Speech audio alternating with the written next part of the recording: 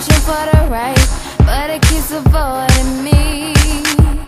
Sorrow in my soul, cause it seems that wrong really lost my conscience.